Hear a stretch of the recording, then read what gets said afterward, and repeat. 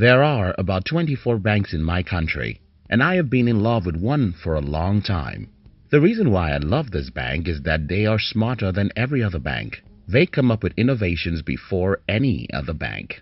However, in recent time, I shifted my loyalty to another bank, and that is because my new bank's app makes it easier for me to auto-save my money to another account number which I do not have an ATM card for. You see, when it comes to money, most people are not smart, and because they are not smart with money, they are broke. Today's video will show you the one thing every smart person knows and does with their money. If you're new here, consider subscribing so that you won't miss other interesting videos like this. The world where everyone loves complexity. About 93 years ago, in the year 1926, a man by the name George S. Clason published a simple book. It was titled the Richest Man in Babylon. And the lessons in that book are simple, but nobody pays attention to them. The very first lesson in The Richest Man in Babylon is pay yourself first. The one simple secret every smart person knows about money is that you can't be rich except you pay yourself first. One would assume that this simple lesson will be embraced by every human since we all love so much but the opposite is the case. An average human being unknowingly loves other people more than themselves. Or shall we say that they allow other people to scam their money away from them via advertisement? You see, I can tell you something you won't like about the present world, and that is, many people are out there looking for your money. And the best way these people can get your money is by convincing you that your life isn't fun or meaningful except you use what everyone is using. Hence, You'll work hard to make them rich. Here is the thing. Everybody who is smart about money knows that they have to pay themselves first, no matter how little they earn. The argument of little income. I've heard so many people making excuses that the reason why they are not able to save or invest is that they do not make enough money. There are three things I want to share with you here. First, Paying yourself before spending your money on other people's products is not important because you can save a million dollars, but because you need to build the habit of keeping a part of what you earn. This is very important because if you cannot save a dollar now that you earn $20, you won't save $1,000 tomorrow if you earn $50,000.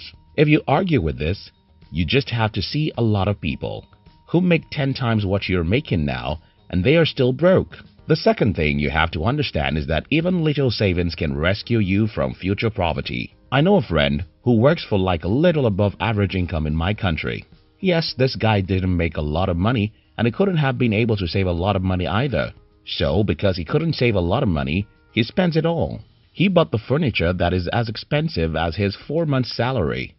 He bought a nice TV set, spent the money he didn't have on his child's birthday, and lives in a nice home. However, one day he got a business idea and he told me that he needed money to finance it. The money he mentioned happened to be about three months of his salary, but he didn't have it. Now, think about it. My friend did not save because he thinks that he didn't earn enough. But now, he needs the money that's just about three months' salary to start a business he believed could help him quit the job he hates. But he couldn't finance the business. The lesson here is simple. Even if you think that you're not making enough money, Saving only 10% of whatever you earn can save your life in the future when you have inspiration for a business that needs only a little amount of money. The best investments are cheap. Warren Buffett said, the investment in yourself brings the best result. Whenever I hear people saying the reason why they don't save is because they don't have enough money to invest, the first thing that came to my mind is that, well, the best investments are cheap. Let me tell you a story to illustrate this. In the year 2008, I wanted to start a business, so I went to one of my sisters with the hope of getting some cash from her. She gave me some amount, but it wasn't up to what I needed. Since the money I got wasn't up to what I needed, I went to a bookstore and used more than 70% of the money to buy books.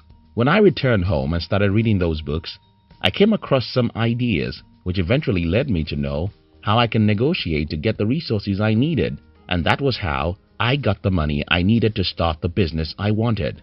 So, you don't have a lot of money you can invest? That's not a problem. Can you invest $20 every month? Then you can get the $200,000 you need.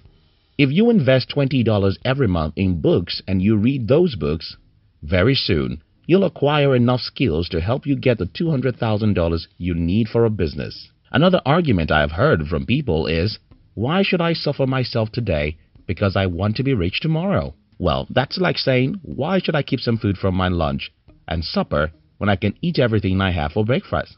Well, if you eat everything you have for breakfast, you'll not only suffer in the afternoon, you'll as well suffer in the evening. How does it make sense that people want to live large today at the expense of living at all tomorrow? It doesn't make sense to me. Pay yourself first. No matter how small your income, even if you can only pay yourself a dollar every month, pay yourself first. Thank you so much for watching our videos. If you like this channel, we're happy to announce to you that our team has launched three other interesting channels. One of our new channels is called Hunt TV, where we publish inspirational videos to inspire and encourage you as you go through the harsh journey of life.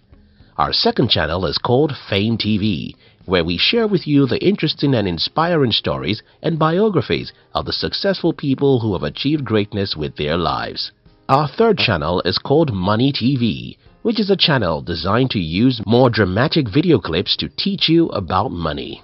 Look at the description box to join our three new channels. We love you.